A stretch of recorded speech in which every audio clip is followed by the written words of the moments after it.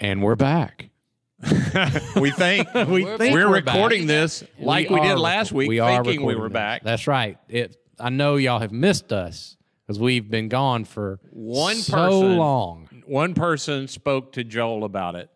We didn't ask Joel if he brought it up first. No, he might. No, he did. He's, He's shaking, shaking his, his head. head. He He did not no. bring it So up we, first. we do have people that care that we we missed last week. person.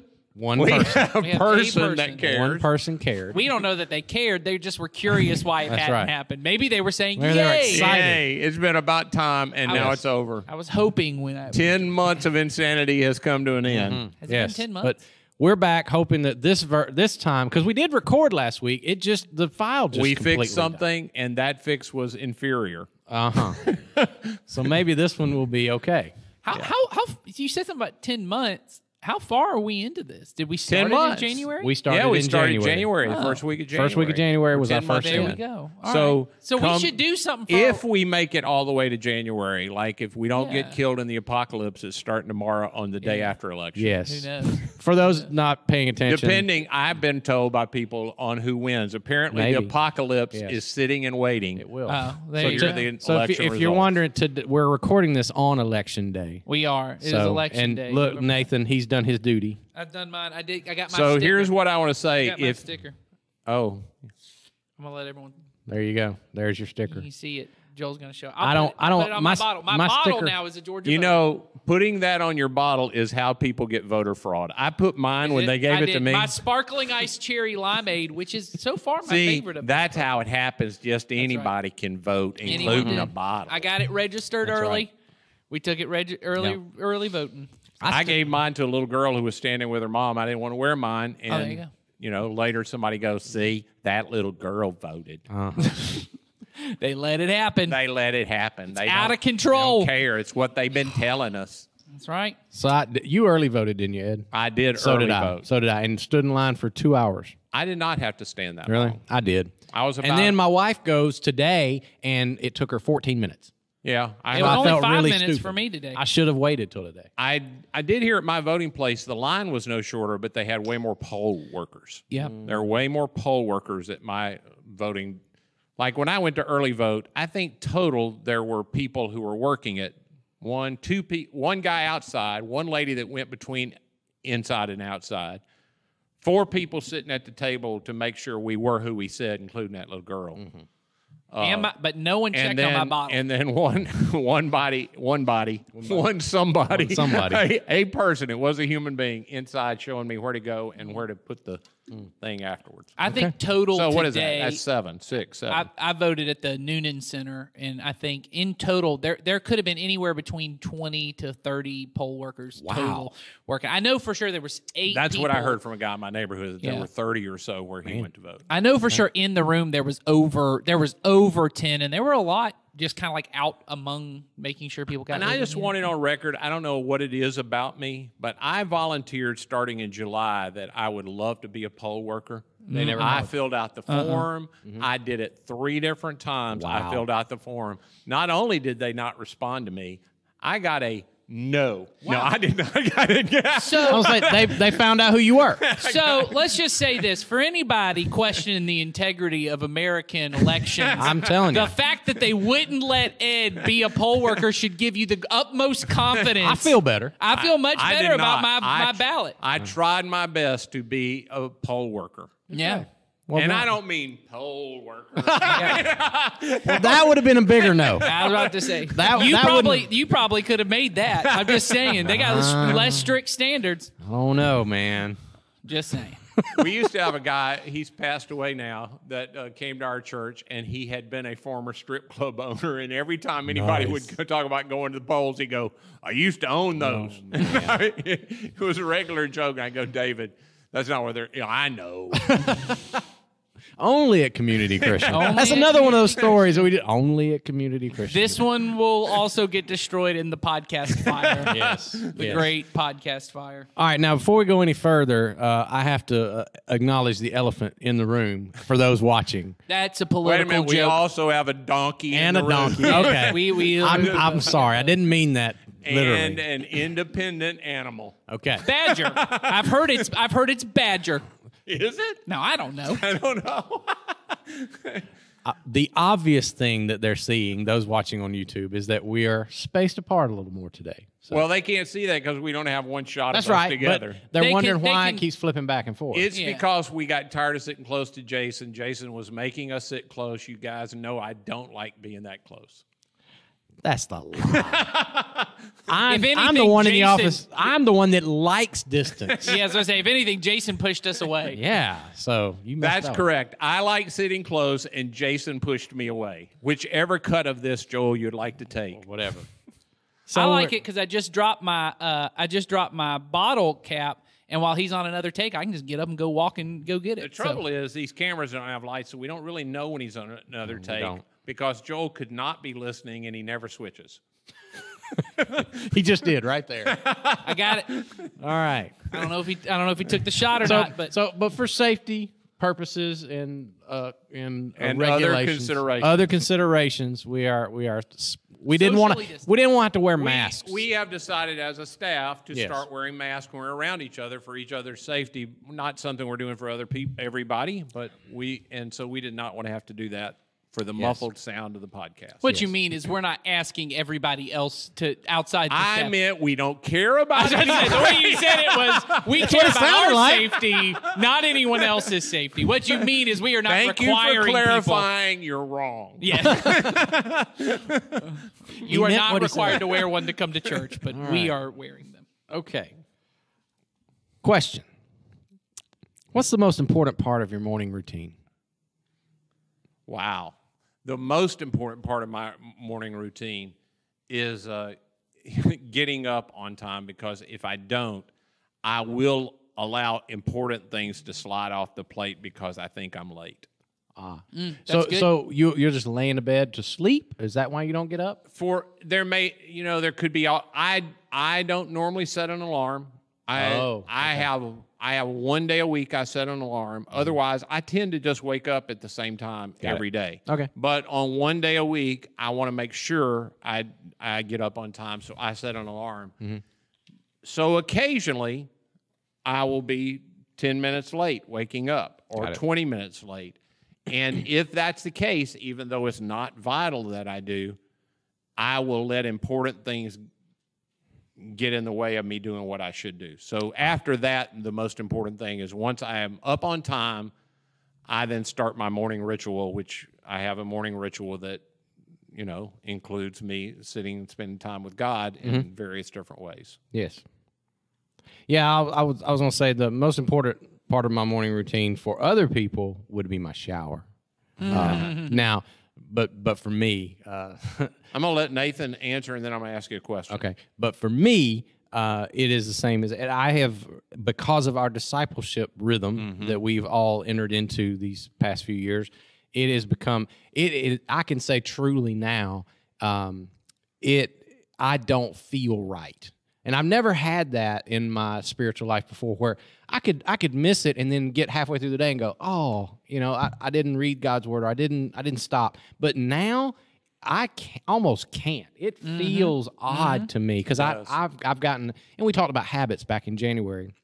I developed the habit of doing it in the same place, same table, same chair. Me too. I have a Bible sitting there that I read from, and and then I go through my check in with my the guys that are in my group. I reach out to them in the morning, review my day, which is what we all do. But it, it if if I miss that, I just I, I can feel it. It, you know, and you taught, and, I I loved what you said on Sunday, Nathan, about you know these habits that get locked into our flesh. um, That one is a good one that is locked into my flesh because I feel it in my body Yep. when I don't do it. And, and I think that's a, I'm, I'm I'm happy about that. I've never had that in my That's a life. second question I'd like to ask. So remind me, I have two questions. okay. We'll let Nathan go. Uh, yeah, I mean, I think what everybody said so far. I agree on both the getting up on time. Um, so honestly, one of the most important parts of my morning routine is actually going to bed on time the previous day. Uh, that was something that struck me mm, maybe a couple of years ago. Um, just that I, I have a tendency similar to what uh, Ed was saying about if you wake up late, you feel like you have to do stuff. I have a tendency because of my personality that I run real hard all day and I have a hard time stopping myself from from doing things. So it's often eight or nine o'clock till I'm willing to stop. then I realize, oh, I haven't connected with my wife all day. And then I try to cram that in and also cram in, oh, I want to cool down and watch some TV and like have this. And so I would often end up staying late.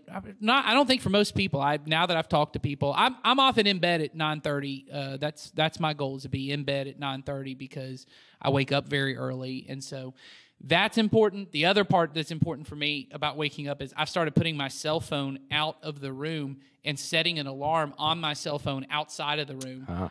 And it forces me. I have to get up to go turn off the cell phone. At that point, I'm already in my bathroom, and I'm like, okay, time to down. I can do whatever I need to. I'm not laying in bed. Yeah. But then the other the other thing is they both said is uh, my discipleship routine's important. But uh, one thing that's been very key, I think maybe the last three or four months we've been doing this. I, I read from a book of prayer. Uh, that's part of mine, and I've weaved my discipleship reading and all of my communication into that book of prayer. Uh, but about three or four months ago, maybe, maybe I don't know. Joel's in on this, so producer Joel can somewhere two or three. You're saying uh, we I do a prayer meeting now with people virtually. I have a prayer meeting every morning, and we we we read through this book of prayer and we share prayer requests and we do. There's a whole ritual behind it. It's become one of the most important parts of my day. Um, it's very nice to get to share that with other people. So, So when you all read in it's some form the Book of Common Prayer, I'm assuming yeah, it's not the it's a modern translation. Yeah, it's not the uh, Anglican Book of Prayer. So there's some other tra- there's other denominational traditions. It's Sure. uh, Well, ecumenical is Wow. it's referred to. Yeah, there are all kinds of Sure. Anglicans, one. There are all kinds of. yeah, it yeah. pulls from that all different kinds of denominations. Okay. Yeah, I started. You know, I started using Common Prayer books. Mm, I remember talking. It was the first year we started the Madras campus, so that's been a long time ago. I In 2008. I remember talking at the Madras cafeteria. We had a frontline meeting at Madras, if y'all remember that. I remember day, that. And I talked about using Common Prayer books. I love Common Prayer books. I don't do them 52 weeks a year anymore. I still do them. Uh, my mind doesn't run well if I lock into routines that Sure. become routine for me. I have to break all routines Yeah. for me. Uh, anyway, I wanted to ask you, You about. got you got two questions. I you do. I have one for him about his thing. Uh, when you all do the Book of Common Prayer, do you do you read? Are you the reader, or does everybody read? Uh, well, when we first started it, there was a um, the website now is all messed up, but there was a website um, called commonprayer.net, I think. Um, and uh, anyway, yeah, and they could read along with me out loud if they wanted. I chose not to because it's a it's a video chat. It would be impossible to sync up us reading the things Right. together, and so it Right. would sound weird. But yeah, I read this one. Unlike other, this one thing I really like about this book of uh, Common Prayer is that there's music in it. So there's they have suggested songs once again from all different kinds of traditions, but sometimes I use theirs. Sometimes I use songs we sing here, or just songs that I really that I that speak to whatever we're talking about. So, but yes, I'm I'm primarily the one reading. But then there's always a place where we share prayer requests with one another, and obviously not everyone has one every day, but uh, it's just good. And That's cool. yeah, So my question for you, uh, Jason, Yes. and this may go for Nathan too. I'm interested in your. You said shower was an important part for other people. Are is that the beginning of your daily ritual? Like you get up and you shower and No. then go do other things? No, I I do I do the the discipleship rhythm first. Okay, Nathan, do you do you include um, body kind of taking care of your body? uh, in- mine mine is uh, yes, yes is the answer to that question. I, I don't I don't uh, shower before I leave the house, so that probably Yeah, some people- some I go people to the I go, go to, to the, the gym and shower. and I shower at the gym. So I so I get up almost every day at five thirty, and I I have some exercise time before, but we're all podcast listeners, and so. I, I have podcasts going, and usually I'm listening to some kind of sermon. There's a break in that where I have it's important for me because of my personality that I have personal devotion time outside of communal devotion time because Yes. I've realized for me, even though the communal prayer time is is bit so beneficial in a different way than I thought it would be. Um, it, there's easy because I'm the reader for it to become performative, and so I so I have a period where it's just for me. Um, I send my email for my discipleship. then I do the common prayer, then I go to the gym. So mine's a little all weaved together. Um, My shower is typically my first part of my morning. Mm. Okay. I should say brushing my teeth, uh, but brushing my teeth is my very first part of my morning rit- ritual. I didn't say that. I also brush my teeth because I am going to see people, and that's it's Yes, that's- offensive. that's Uh, right. So Yeah, now that we wear masks, though, it's, it's I'm the only That's one true. that's bothered. That's I'm true. the only one that's bothered. But that's just yeah. an old as.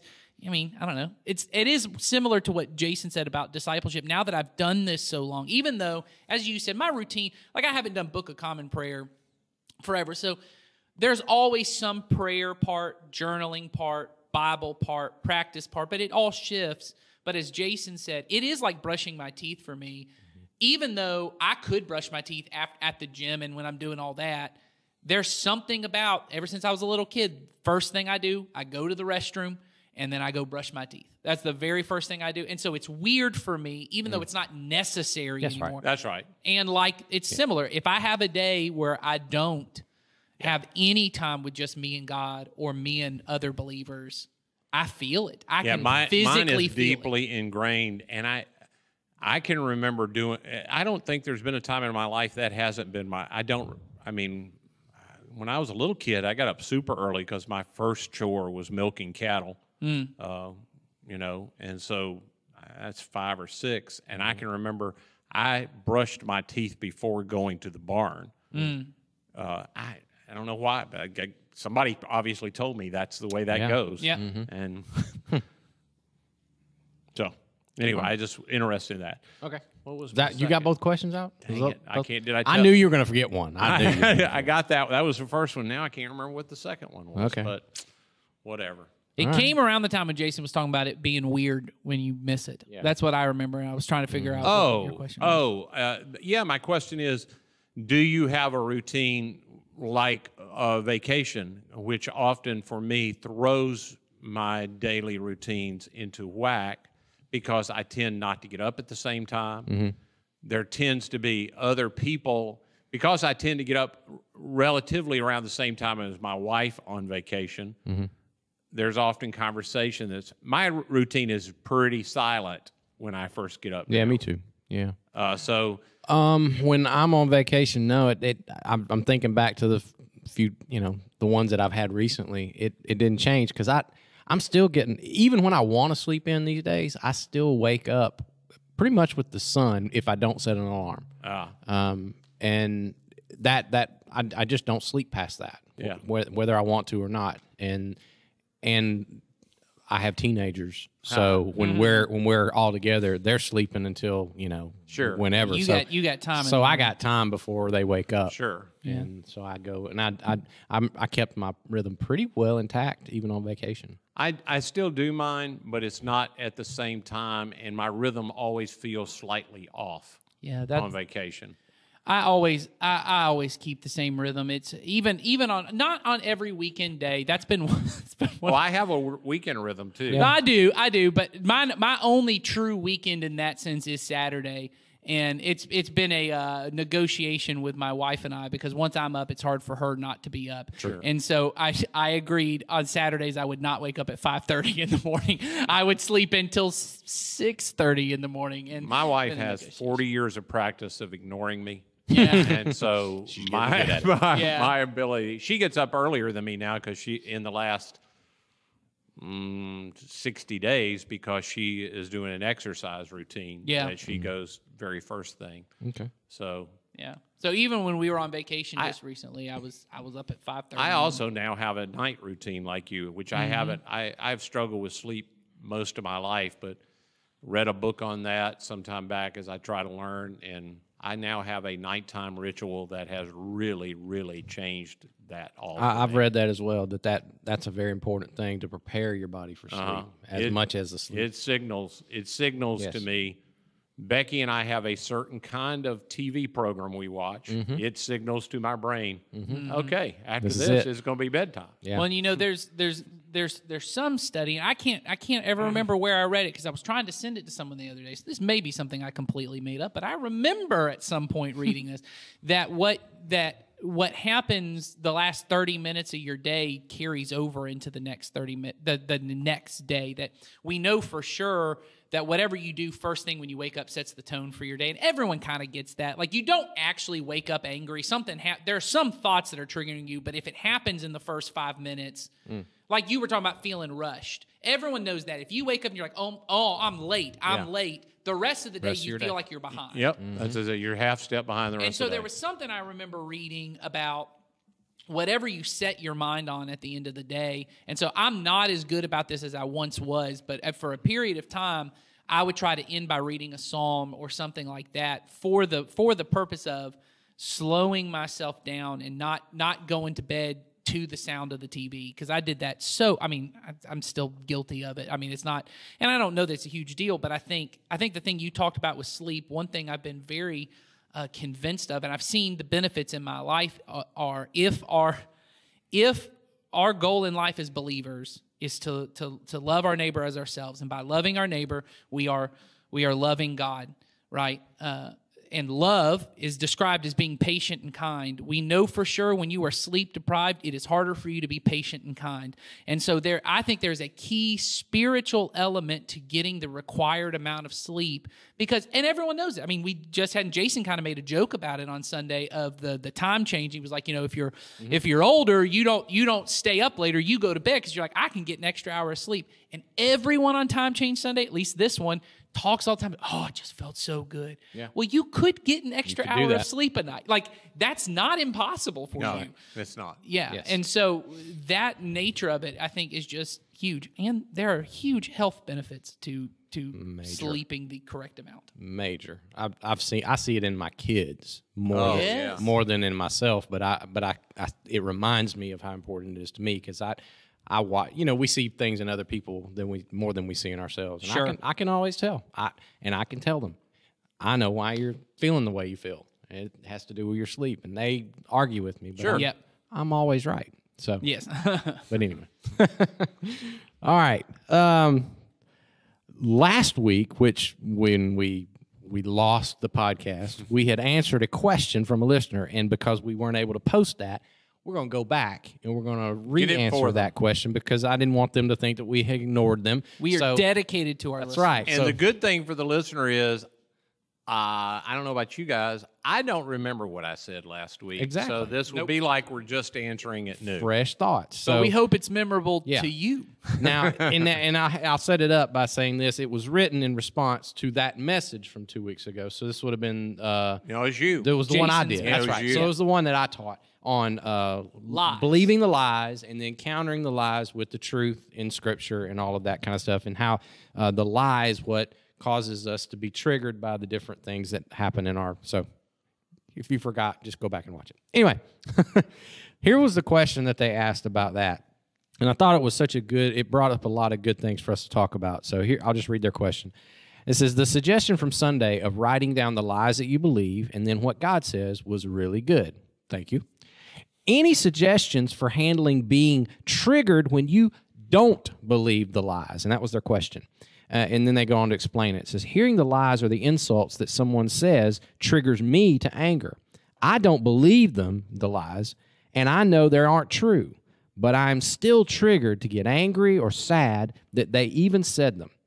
I'm most concerned about things said directly to me and about me, but I also get annoyed with things like spin, innuendo, and half truths in ads as well.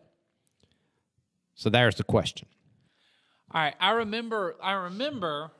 For those of you who didn't get to hear it, I remember we started with the first part of that of if there are lies being said about you, um, insults, right? Isn't that Yes. one word? Insults and those kind of things that uh, that it is okay that those things make you angry, right? Like Mm-hmm. That's triggering, right. like when someone is insulting you or trying to attack you, trying to go. It's okay that there's a little bit of anger. That's a natural response to to any kind of injustice, or especially if it's if it's like on a category of anything abusive that's being said or done towards you, Yes. anger is the correct response of I mm-hmm. don't deserve to be treated this way. Mm-hmm. Um, and so I think drawing boundaries is the most helpful thing you can do in a situation like that, mm-hmm. where somebody, when it is clear, you know, not in this thing we've been talking about of it feels like an insult, but they didn't really mean anything by it. When it's clear, I've told this person, hey, that hurts me or that causes damage to me and they continue to do it and it's clear that the intention is to cause me harm.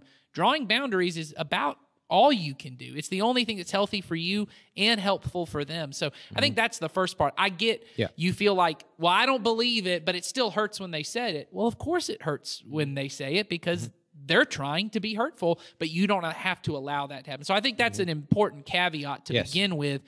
Um, but there's a lot more to this question than just that. Yes, there is, and and I and I think I part of what I my thought was when I first read the question was, um, I, and I and I do, and whoever wrote this, I don't mean to attack the premise of your question, but I would push back a little bit on this idea of, well, I'm triggered not because I believe lies, but because lies being told or whatever. I still think that the, the uncontrolled response of anger Right. and resentment is still could be traced back to possibly something that you do believe about what's being said Yes. that is causing that reaction in you and it could be something like you know i have to make sure everything that is said about me is correct and i and i feel the need to justify myself Yeah. in every situation i would i would push back on that and say well no not actually actually you don't that that's not an absolute um, so there may be something going on behind again i don't know because i don't know the person um, but does, does that make sense did i make does sense to me. And you know, when I heard it again this time, and I can't remember what we said the time before, there seems to be, and boy, this may not be true. So I don't. I wish I was having a conversation. Sounds like there's a lot of. I wish I could control this. I wish Right. I could. I can. What I don't want anybody to do is to think this is true. Well, mm. I can't really control what anybody mm-hmm. thinks. that's right I don't know that what was said isn't confirming what they already thought. Mm-hmm. And Yeah.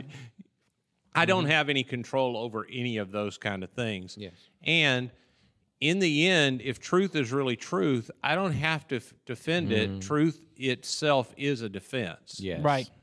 Mm-hmm. Well, and you know, when you talk about one, because I think that's true, I think that's the other beneficial part on anything of having strong boundaries, because boundaries protect you, but boundaries actually protect the other person from you. So when I get to a place where I think it's my job to control what you think about me, that's not in my boundary, mm-hmm. right? And the way that I, I, I often, when I talk to teenagers about this idea of boundaries is I use the example of boundaries are just fences, and all a fence does is it does keep people out, but also keeps if my neighbor has good boundaries and good fences, it keeps me from going in. And so mm-hmm. if there is if there is a piece of trash in my yard, it's my responsibility. But if there's a tr- piece of trash in their yard, it's it's not I can't go over there and tell them mm. this is what you do on your yard in your time. They have a place to do it. Now, this is where the problem comes. When they start coming to my fence and throwing trash in my yard, I may need a higher fence and a higher boundary to say you I will not allow you to throw your trash into my yard. But that's the benefit of there are things that are in control and their thoughts, their emotions, the way they think about me. And that's the hard part when people talk about protecting your reputation. There are things you should do to pr- protect your reputation as far as you can. But part of your reputation is what they think about you. And I can't control what this person thinks about me, but I get the desire to. I'm probably wrong in this, but I I battled this thing of protecting your reputation for a long, long time because when I was growing up, that was a big deal. My mom and dad said, and I, I get I was I was doing things that they thought were hurting their reputation. It in fact didn't affect their reputation at all, and it didn't it it did become my reputation, but it became my reputation because it was my character. Right. Everything that people thought about me that they were afraid that people would hear, the reason people heard it is because it was all true. right. And so then, you know, I began to think, Are there ways to protect your reputation? There are, but they generally involve me trying to manage what you think about me, which could lead to me not being completely truthful with what's true about my character Yeah. and caring more about what you think than my character. The hmm. only really way to protect my reputation is to work on my character, not about what you think. Yes. Mm-hmm. And so when it comes to boundaries, I, I can remember uh, when the first time, you know, and, and uh, Henry Cloud and his partner John Townsend are the first ones that made boundaries a big deal in our current culture. Right. I'm not saying they thought it up, but that idea of fences is the way they taught it. Yeah. And the benefit when it finally got clear in my mind is it not only is setting a boundary so that for other people to know, hey, you know, this is I can't let you do that kind of thing. It really is. It defines my property Yes. for me because I am a person. I mean, by my personality, I want to be in control. Mm-hmm. I, I'm not embarrassed to say. I mean, I want to be in control mm-hmm. Yeah. of everything. And so I would often run over into other people's boundaries. Mm-hmm. I was not staying in my own yard. If I thought they were wrong, I wanted to set them right. Yeah. But And sometimes it's only my job to set them right in my boundary. Yeah. If they're in my boundary throwing trash into my yard, that's okay. Them writing pieces of paper about me and throwing them down in their yard, that ain't on me. The only way I could know they were doing that is for me to walk across the fence over into their Right. yard and pick it up. Or I hear people say often, so and so told me so and so talked about me. Yeah. And so what just happened was another person just came and did with me what they're going to tell me they did with somebody else. Right. They talked about me to somebody else, so then they came to me and talked to the somebody about the somebody else to me. Yeah. What we know is in common is that person. Yeah, and I think where this gets real blurry, and I and I and I see this, uh, and I, and I probably am reading into the question, but I think I, I'm close to this. Um, it gets real blurry in the world that we live in with so much social media. Yeah. and we're reading so much of other people's thoughts. Yeah. Sure. and and we and when we do that, it's often feels as if they're over in my space throwing it at me when ne- not that's not necessarily true they're just holding an opinion they just happen to put it into a forum where I, I i would normally not hear it you know that that is so true about everything that everybody says now is so vastly public and and widely spread and it feels as if it's constantly but the truth is i i did allow it in And I decided to read it. I decided to go and seek it out and listen. And I've told I've said this to many people there. There's so many people saying all this stuff that's wrong on Facebook and stuff. And I go, Well, you, you didn't have to go read it. Well, and I'll say, not in my feed because Well, that's once right. I, That's right. There is a thing. I don't have to unfriend anybody. Mm-hmm. I just say I would not like to see this person's That's right. comments That's right. Well- and I it does it helps me because now I don't have to think anything different about them. No. because they can think whatever they want to, the way it has always been. And don't you think? I mean, there's there's such a human nature when you talked about wanting to control. I think all of us want to control. I think all of us go go about it different ways, and we use different terms, right? Like I think often people who see themselves as helpers by nature become very. Uh, crossing boundaries and not seeing it. They go into other and they begin they, there's a there's a big pile of trash in yours. You never asked me to come in your yard and clean it up but i'm just going to start doing it for you. And eventually in what eventually becomes codependent relationships you now just expect i'm going to come into your yard and clean up So- your your trash for you. a great example that I think most people who are parents or who Mm-hmm. have worked with parents is parents have a really hard time with the boundary between themselves and their child. yes Yeah. So Yeah. my child strikes out even though I know he practiced a lot and he can in fact hit the ball. and somehow I feel like that says something about me. Yeah. And so I want to say out loud at the game, he practices all the time and because I'm now defensive, I think somehow I'm helping my kid whereas with one of my kids I remember they'd strike out and go back and pick up a Lego and start playing with it. Yeah. they didn't feel the need Right. to defend themselves at all. And the same thing continues on all the way up to people get to seniors in high school and the kid decides, you know what? I've got a good enough thing. I'm already going to go into college. I'm already going to get to do everything I want to. I don't think I'm going to go to school today. And the parent feels like, Yeah. Ah. yeah. you're you're saying bad things about mm-hmm. the kind of parent I am. No, I'm saying a lot about the kind of person I am. That's right. Well, and it doesn't say anything about And the it says kind of more person. about you by you being triggered. Yes, it does say Yeah. something about you that you thought your kid somehow reflected on you. And there are people that do think your kid reflects on you, and that says more about them, Them. than it does about your kid or you. Right. They're wrong. And don't Yeah. you, And that's okay. Don't you think too that this goes into and i can't remember this we've now had a few podcasts where we've talked and no one saw it. So i don't know if this is something I, we've talked about before. I know it is. I don't know if anyone else has seen us talk about this. But that i know is is so in counter to the way jesus handled approaches to truth and approaches even to correcting other people's sin.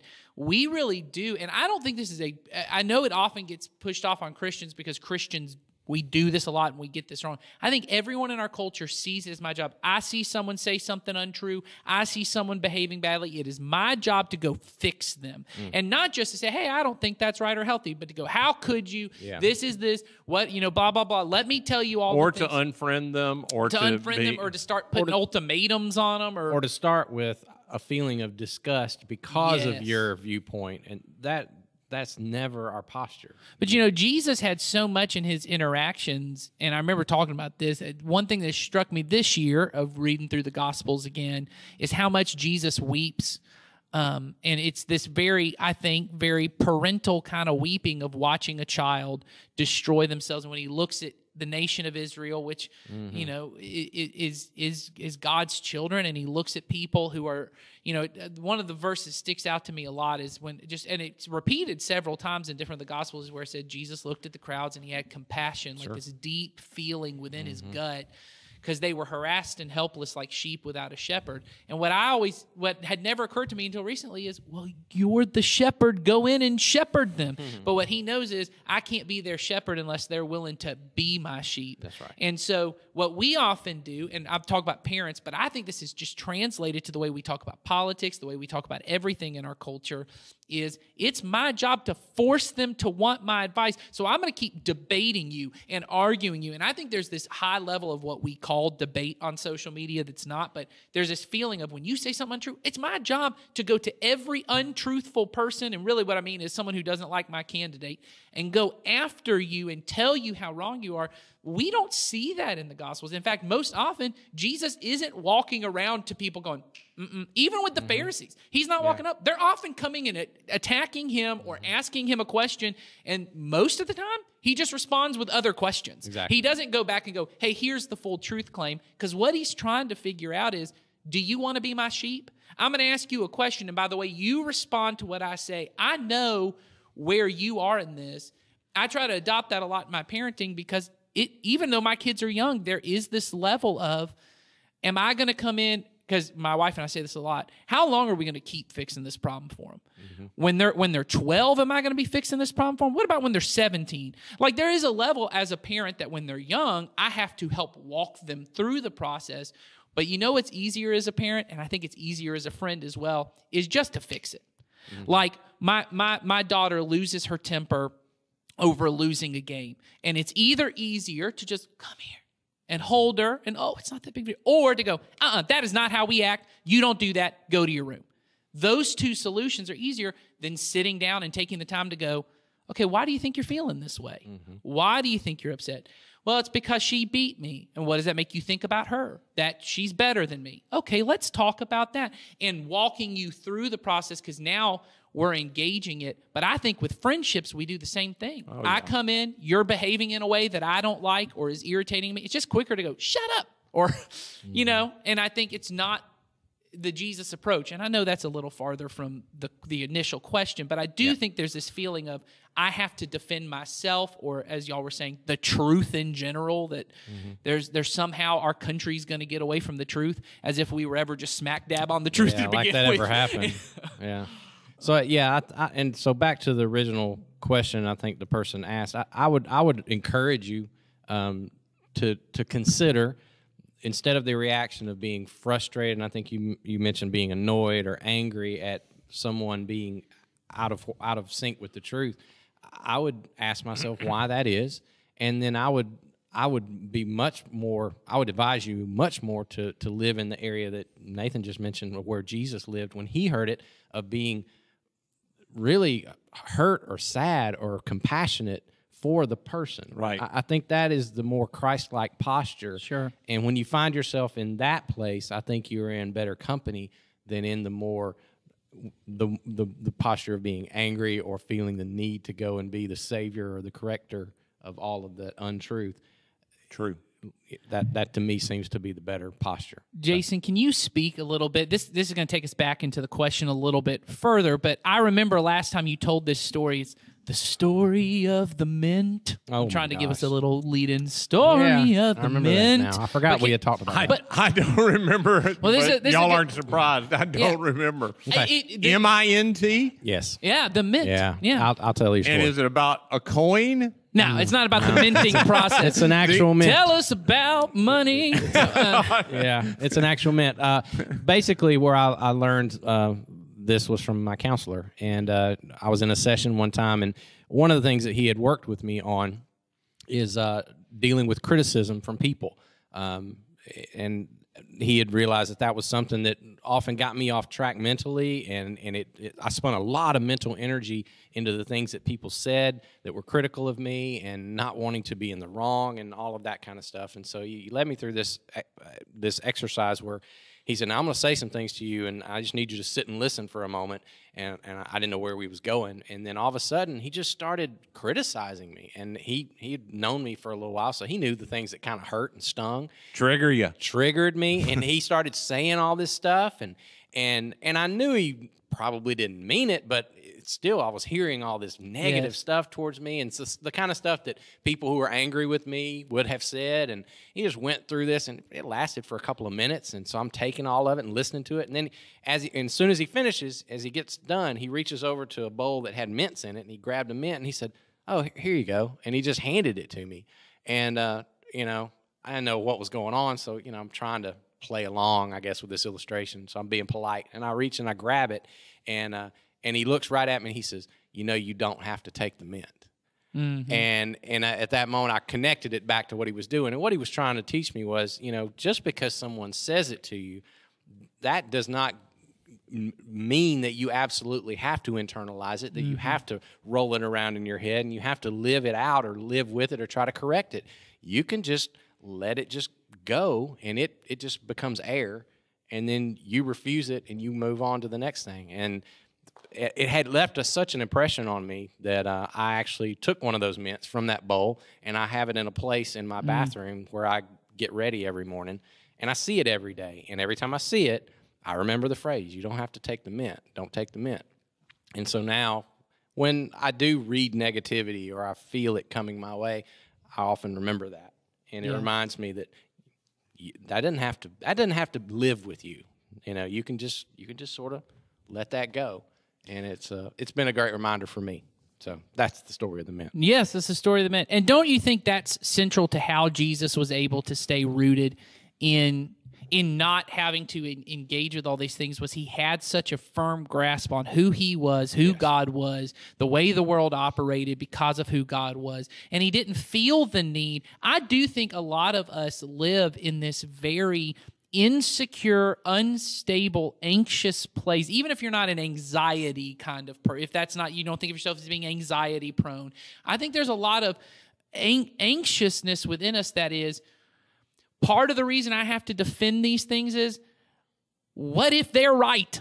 Mm-hmm. What if they're right and I got to argue to convince you you're wrong so that I just feel more stable when I'm right in mm-hmm. this understanding of. So when someone calls me an idiot or comes after me and mm-hmm. does this, like you said early on, there may be a part of you that's believing that lie. Sure. But Jesus was able to have people say all kinds of things about him, but because he was so rooted, he was able to not take them in. Yeah, and even when we come to things like spin, which it sounds to me we're talking about ads or something on TV, and probably in this age it's political. I don't know that, but I doubt. I think I remember last week I was saying I doubt they're upset about L'Oreal Right. kind of spin of how your hair is going to look. I doubt that's upset anybody. Nothing gives me bouncy curls. I've tried, doesn't work. Liars. You can't get a curl out of this because I keep it sh- short enough that doesn't happen. So anyway, I it's got to be about spin, about things they hear, about truth about what they think is our country. I want it to be set right because I think it really matters what people believe about our country because I really believe that my thought of how to do this country really matters and that long term this would be best, which reveals I haven't totally bought into the fact that there is a kingdom that's bigger than mm. this country. Mm. that as a follower of Christ, my security is not found in who the president is or who the politician is or what anybody even thinks about the way to govern is because this particular form of democracy has not been around except for the length of our country. It has not existed mm-hmm. before. So there were ways to follow God and are ways to follow God in the kingdom of God that have nothing to do with this republic form of democracy.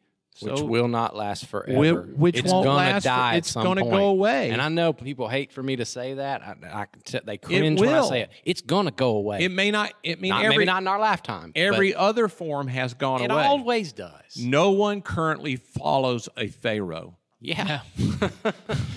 There, that does not exist, and it ruled the world. It ruled the planet for a while. yes.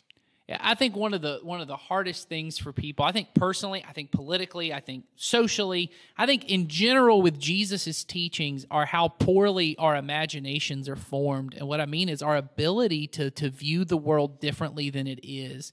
And that's really what Jesus was doing. That's why his parables were the way. It's why that you read parables and they're confusing and you go, "Okay," cuz the way way we're often taught to do it is, "Okay, I'm supposed to be one of these people. God's supposed to be one of these people. I'm supposed to behave like one of these people." And then you read things and we've answered some of these where you read it and Jesus said, "Well, that guy who I guess God's not the guy who lied and and, And cheated and people cheated and- people. Am I supposed to be the one who lied and cheated Or maybe people? nobody's any of those. He's talking about a principle that got taught. Right. Or he, and he's capturing this imagination of the way the kingdom. I think often the reason Jesus teaches in parables is because it is supposed to it is supposed to confuse you a little bit. It's supposed mm-hmm. to go, well, that's not the way the world operates.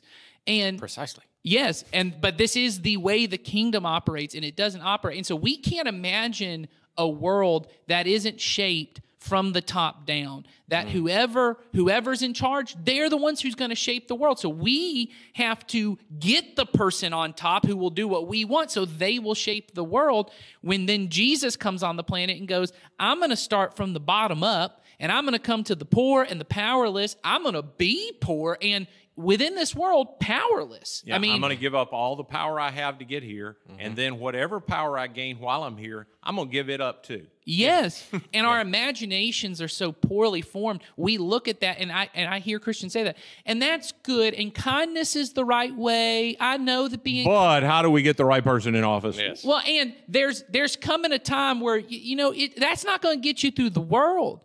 And what No, I it's not. no, and I would say no, it wasn't. And for the early church, it didn't. They had a shorter fuse on most of them. They And Jesus looks at and Pilate, okay. and Pilate, Pilate says, "You know, are you the king?" He goes, I, "You said it, but if I were a king, then the way you think about it, my kingdom's just not of this world. It didn't like right. any kingdom you've ever seen. So I get mm-hmm. it doesn't make any sense to you. Yeah.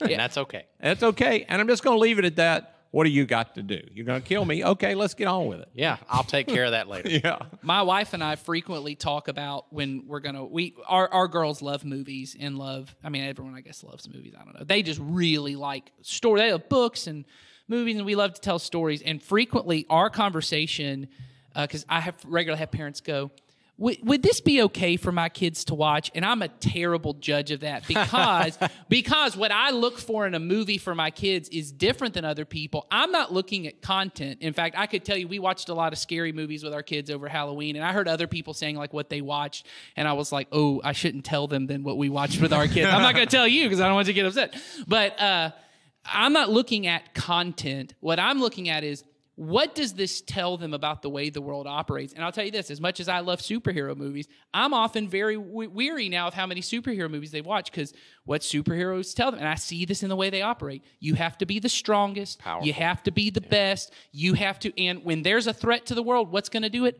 Power and force will overcome it. And I then watch the way they play, and the way they play is if, and now I get this is all human nature, and you may think I'm going, but it's, it's if I need it, I'm gonna take it. If I'm gonna do it, I'm gonna do it. And if there's a problem that needs to be solved, it's gonna come from me making it happen on my own. And Or I can show them Disney movies, and it all comes about just because you're beautiful. just because you're beautiful. and so people have heard me people have heard me talk about this movie all the time, but you should watch Paddington. Paddington is the movie we watch all the time because the movie the central way is you are he's a he he's an immigrant to the country. He has nothing when he comes. And he, He's a bear. and he's a bear. he's a bear, right? And just by sheer kindness and serving other people, every person in his community gets better. He gets better. People hate him. He's at a first, lovable bear. and he's a lovable bear, and he wears no pants. So and, anyway, and and that reminds me of another movie that uh, was popular a generation ago that I think is the exact same kind of story, and that was Forrest Gump. Yeah, Oh yeah, yeah, that's right. That that's the same kind of premise. right. It's this idea of there. There's Also, didn't wear pants. No, he did. He did Yes, wear pants. a, yes. okay, I just, I just Yeah, wonder. I, just, I think the way that we share, and so I, this isn't about movies. I love movies, and if you want to talk about movies, you can come talk with me about movies. But I do think the way we we form our imaginations, it does lead us to think, well, if the truth is going to be defended, or if something's going to happen, I have to force it to happen. The only way to make this happen. Oh, and I do remember we talked about this last week. Was this book that I, I, I've I've been hearing a lot of quotes out of? So I'm going to hopefully read this book soon. It's called "The Patient Ferment of the Early Church." Oh, yeah. we You talked about how about that. great Yeah. of a Title title, that that is. is. But the point of the book was how in the early, you know, we we look back at the earliest generations of the church and how quickly the movement spread from a historical standpoint. I mean, it still was hundreds of years. Longer than our country has been alive, it took. Yes. but we just talk about in the grand scheme of history, it still is very Yeah. fast. But in their lifetime, uh, the earliest Christians were just willing to die for what they believed. They were willing. They were willing to go into places and serve, not fight back, not force their way. Uh, most of them died under the, the hand of the Roman Empire, and the Roman Empire still lasted another 200 years. But eventually, just through, and the way they talk about it is they didn't win the day by winning arguments and forcing their way. The way they won was, and this word was habitus, which was just their daily habits of loving and serving. And by the way they lived, even in their morality, the way they treated their wives and their children, people looked at it and said, okay, something's working over there. Maybe we should pay attention. And I think in our country, and I think in our lifetime, we're losing that Yes. because we feel like we have to defend something. Yeah, I had We a counselor patience. tell me years ago because you know argument is again a part of my form of control, talking, arguing, and he said, you know, Ed, when you win an argument, you you don't win anything. That's right. Mm. That's He great. said, what, relationship what argument loses. Did you ever win and you actually got a prize at the end? Yeah. Well, I, the way I've always said it is, is you can win an argument, but the relationship, if anybody in a relationship wins, then the relationship loses. That's right. Yeah. So, all right, we've gone on long enough and could probably go on longer. I think we have. We, we hope will. this Hopefully- podcast It's the light of actually day. makes if they're seeing it or hearing it, it worked. We Producer actu- Joel we were has already suc- destroyed the computer, so it's not even here anymore. All right. So uh, this week, Ed's got uh, an interesting.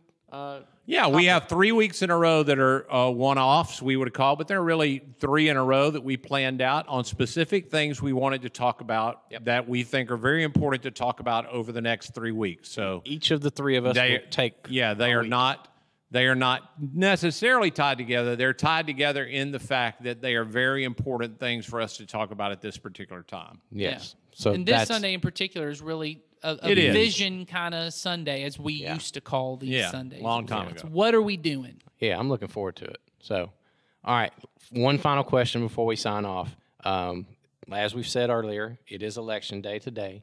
I'm curious to know do you guys think that by the time we record next week's podcast, we will actually know who won the election? I do. Yes. You think by so? by by next I it'll be think Tuesday. So I'm probably. I'm just going to go ahead and say it. I think by the time this actually drops, Really? We will So- know. which will be Wednesday.